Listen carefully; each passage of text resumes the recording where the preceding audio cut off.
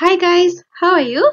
Now, I'm teacher Alimalar going to teach you on patterns.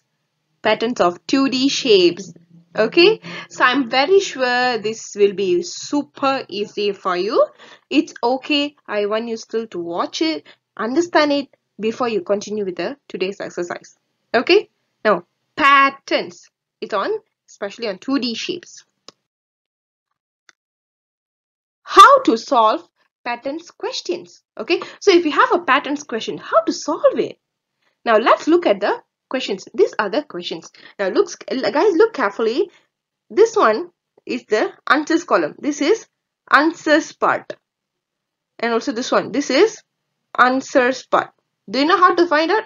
Look at the white dotted lines. Can see here? Okay now so this is the question very simple you have a pink color heart shape emoji, a smile shape, heart, smile. What shape is this?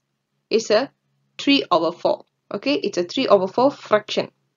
Heart, smile, 3 over 4 fraction, again heart. See, if again heart means, what was after heart just now?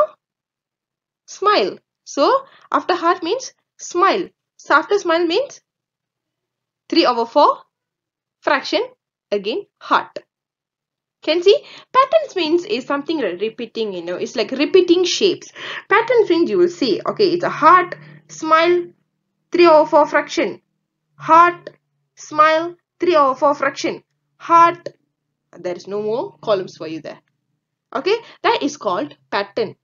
Okay now let's look at the second question what is this rectangle sun cloud correct now look here guys. Rectangle, sun, cloud. Rectangle, sun, cloud. Rectangle. That is the pattern. So the pattern is, it will start with rectangle. The second is sun. The third is cloud. And then the start with rectangle. Second is sun. Third is cloud. Start with rectangle again.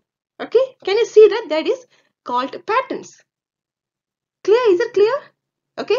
If you don't understand, I believe you will understand if you replay this video. You will understand it. Okay guys? Okay? Now, thank you. Bye-bye.